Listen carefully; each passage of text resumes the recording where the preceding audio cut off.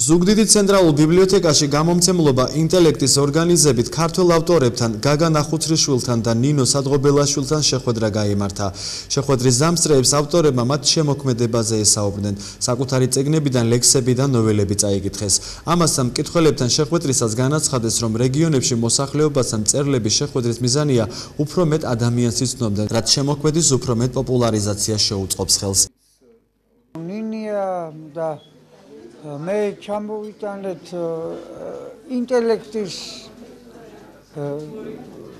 ციგნები ინტელექტში გამოცემული და ეს იყო ზუიათ ყვარაცხელიას და გამოცემლობა ინტელექტის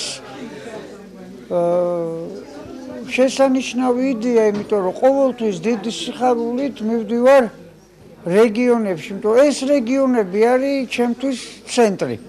და თბილისია რეგიონი, იმიტომ რომ აქ კიდე სხვანაირად კითხულობენ და სხვანაირად უხარიათ და სხვანაირად უყვართ წიგნი და ამას გძნობ ყოველი ფეხის ნაბიჯზე წავიკითხეთ ლექსები, თუმცა მათ გამოცემობის სურვილი იყო, რომ უფრო აქცენტირებული ყოფილიყო ამ შემთხვევაში პროზა.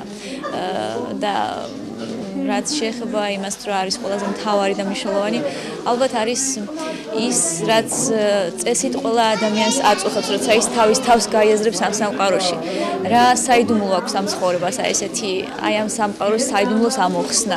რაც თანდათან უფრო მეტად მიტაცებს და ჟანრულათაც ვეძებ ახალ ჟანრებს, რომ აი ამ ჟანრში ვთქვა ჩემი სათქმელი.